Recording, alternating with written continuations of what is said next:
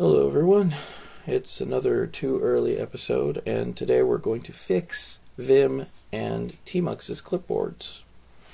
So come along on a magical ride. First we're going to go over what's wrong. so uh, at first glance it seems like Tmux can do a lot. Uh, the copy mode is pretty pretty robust. It scrolls through buffers pretty well. I can select things. I can even move in Vim style by words. Um, and it, it copies things pretty well. And I can play that back in another screen. Um, I'm going to go ahead and open up another one down here and paste. And Bash doesn't like it because I've got a whole bunch of garbage in there, of course. But that's not garbage, that's Python. So let's do Python 3.4 and a little bit lower. Okay, so now we've got some Python code up here, and we want to do fun things with it down there. We can do that. Tmux lets us do that. Get into copy mode. Uh, let's do it like that. Enter. Go down a window. Paste. Ta! Very cool. And we can even do stuff that's a little bit cooler. I think that's going to catch the D. That's not. Never mind. So, at first glance, it looks like Tmux can handle this pretty well. But things start to break down a little bit when we start getting here. So what I've got here, this little, this little line continuation right here, Don't know if you can see that. It's on that next line right here. That is a Unicode character that does not exist in my text. If I take um, if I take this portion of the text and copy across it, hit yank and put it down here, there's no weird character there. This character doesn't exist in my text. It's only a visual glyph which indicates that the line continues on the next line. so Tmux picks that up though, which Perl doesn't. Perl. Ugh. Which Python doesn't technically mind until you start passing Unicode characters to some libraries and then weird stuff starts happening. but it still looks like we can do lots of stuff. Here's an entire function that we copy down. Ta-da! You know, Tmux Vim. Woohoo! Uh, but what happens when we get a little bit larger? Oh, look at our object list down here. I'll just do a uh, VAP and it'll select all of these items in the object list. And that is all of them. It selected it by paragraph. Not when I move my cursor though yank. So I've got 29 lines in there, but I want to get it down here. So I will go into Tmux copy mode, visual selection, and go down and down and down. Well, what what is this? What's going on here? Is this is this my Powerline? Tmux is selecting my Powerline. Bad Tmux. Bad Tmux. And that's because Tmux is a terminal emulator program. It's just going to show what shows up on this terminal. And as far as Tmux knows, what shows up on this terminal is this weird garbage down here, where you've got like this line and this test, and, and even this stuff up here, this buffer stuff. Oh, oh gosh, I just scrolled up. I scrolled up in the screen. Tmux thinks that above this, above return string, is this. Well, that's super weird. And I'll prove it to you. Up we go in our buffer. Up we go to the top of the... What's going on here? This is what's outside of the buffer because this buffer is being redrawn actively by Vim. Because Vim doesn't display the whole file. It just displays the portion that you're looking at. So this stuff right here, as far as Tmux knows, that part is gone it doesn't exist on this terminal. So we can't go multi-screen we have to do something different. And what we're going to do is integrate this much better with Vim's buffer system because Vim's buffer system is way better than Tmux's uh, buffering system. And part of that is integration, and part of that is like Vim is actively redrawing every point on the screen, so I, I can't expect a lot out of Tmux unless you like compile it from source and roll it with Tmux inside it. Something weird. But what we're going to do is something a little bit better. We are going to make a little function, and I have the link in there for it. Send zbuffer to home.clipboard. Very, very useful. So we're actually just going to set up a redirect for the command output to home, the file home.clipboard. And Vim can redirect stuff into files. So we're fine there. And it looks like we're going to echo register Z for that. So I'll take this. Well, I mean, this is the function. So when I run this function, and I, I run it by calling a, where am I? Oh yeah, it's not there. It's over here. A gist. Yay. We yank something into the Z keyboard, Z register, and then we silently call send Z buffer to home.clipboard and hit enter at the end of it. So mine is leader C, uh, but I also do uh, carriage return, which is what I normally have on Windows stuff.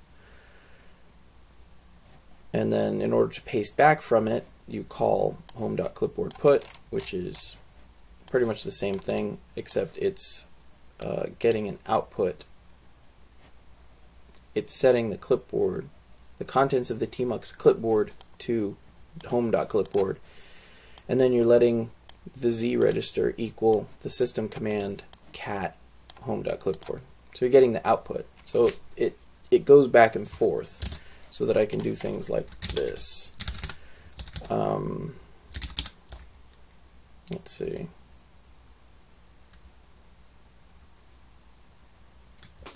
it's too early still um, I don't know. I guess stuff, whatnot.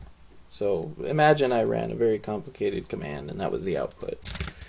With here, with here, with here, here I can copy to the tmux clipboard, and then up here, if I want that, I can get it.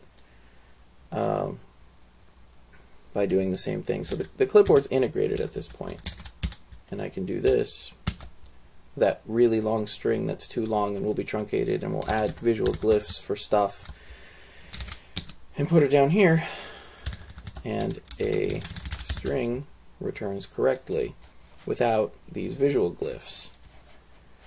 Um, so yay. Uh, next one is this, this long list of objects. VAP will select the whole thing, even if it's off the board or off the terminal as far as Tmux is concerned, and put it down here. And now I've got the whole thing, and it all pasted in from the top to the bottom. So we've got uh, ta-da!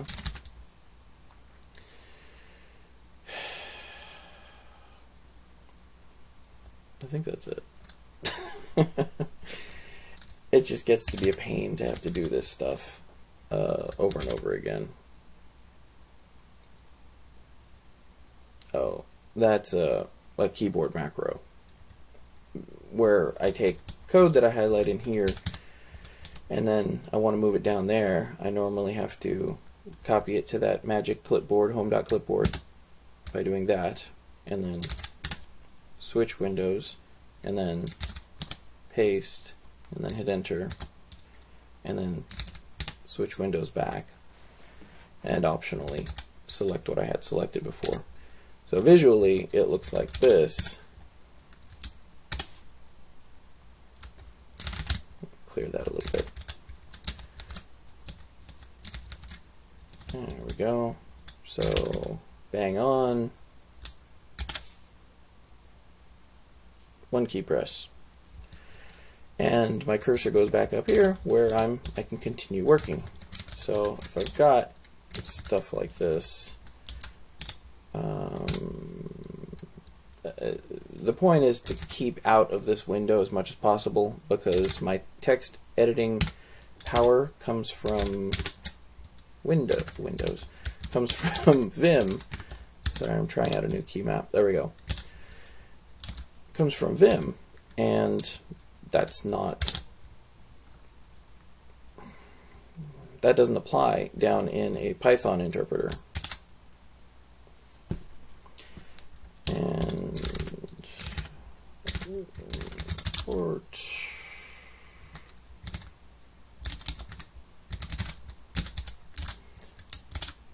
you just move stuff around really easily and no wait I didn't call that right print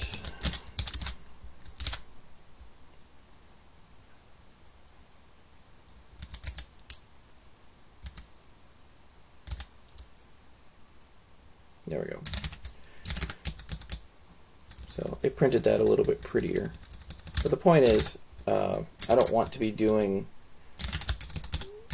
I print bang on and then I'm like, okay, cool, now I want to pretty print it and I'll just print that and let's go to the, well, all the way over to the, yeah, yeah, yeah, yeah, oh, oh, I forgot to uh, import, oh wait, no, no, it uses a different print, print it, yeah, there we go. Instead, I'm up here editing text, and it's much easier to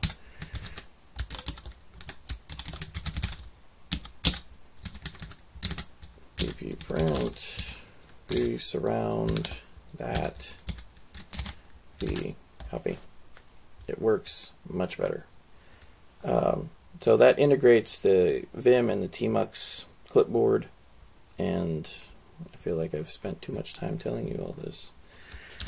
Uh, but this is available as a gist. I'll put the link up there. It should probably be more than a gist, but whatever. Uh, it's not a plugin. All you're doing is copying stuff to the clipboard or redirecting output to the clipboard. You save stuff into a register and you send that register to the clipboard. You end the redirect. And this is just a little tweaky thing because the redirect command has a new line in front of it. So if you want to get exactly what you put in, it you need to do this. And it just trims off the beginning new line at the, the beginning of what comes of this output. And then it tmux load buffers into the clipboard or from the clipboard file. And this actually was a problem because there is a save buffer command which does pretty much the same thing except kind of not. Because the save buffer command has an undocumented yeah, has an undocumented command limit. And there's a nice little issue there where Tmux says, don't do it, lol. And what they should have said was, don't do it, and because you should be doing this instead.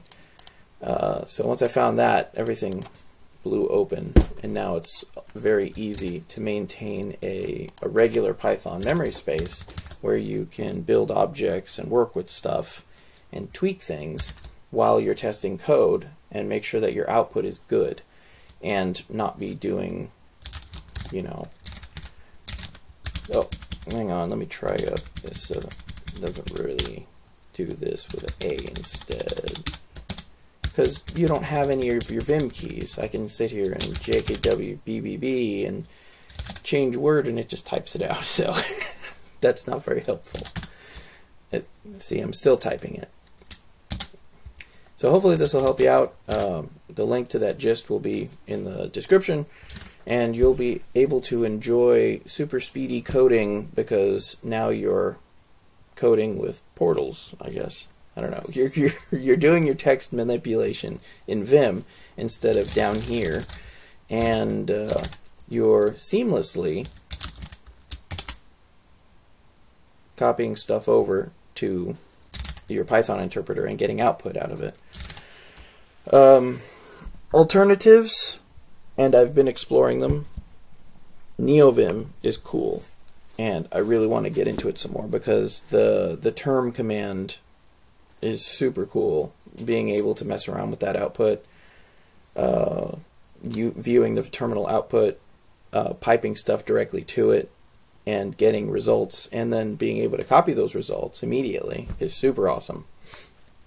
Um, there's VimShell, which is actually deprecated and not being maintained at this point. Uh, but Tmux does a lot. I don't know. Me and Tmux are we're going at it right now. So I'm making what I've got work as best as I can, and in the meantime, uh, I have been messing around with Emacs because this problem got to be that big of a deal. Um, but I'd much rather stay in Vim if possible. Tmux or Vim, Emacs is a great operating system. Is the the joke? Uh, it's actually not a joke. It's the truth. And Emacs is a great operating system. It's easy to develop stuff in. It's easy to send bits of data back and forth. Um, and it's ridiculously powerful. And it's bloated. It is. But it can do what Vim can't do because it's not designed to do it. So use what works best. Um, don't worry about the difficulty of learning these tools. You only have to learn. That's that's the thing about like Emacs and Vim. You only have to learn them once, because once you learn them, you you will be extremely fast, and you won't have to worry about uh, you know this company got sold to that company, and my text editor's gone now, or they don't support that anymore because there was a patent lawsuit about saving things to clipboards because Apple probably has a patent for saving things and then viewing things.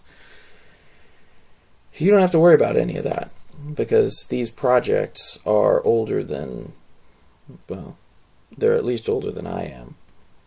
Um, these guys are made in the 70s and they're still going strong. it's not going away for a while, so you don't have to worry. And they've been the cool thing is that they've been actively developed since the 70s.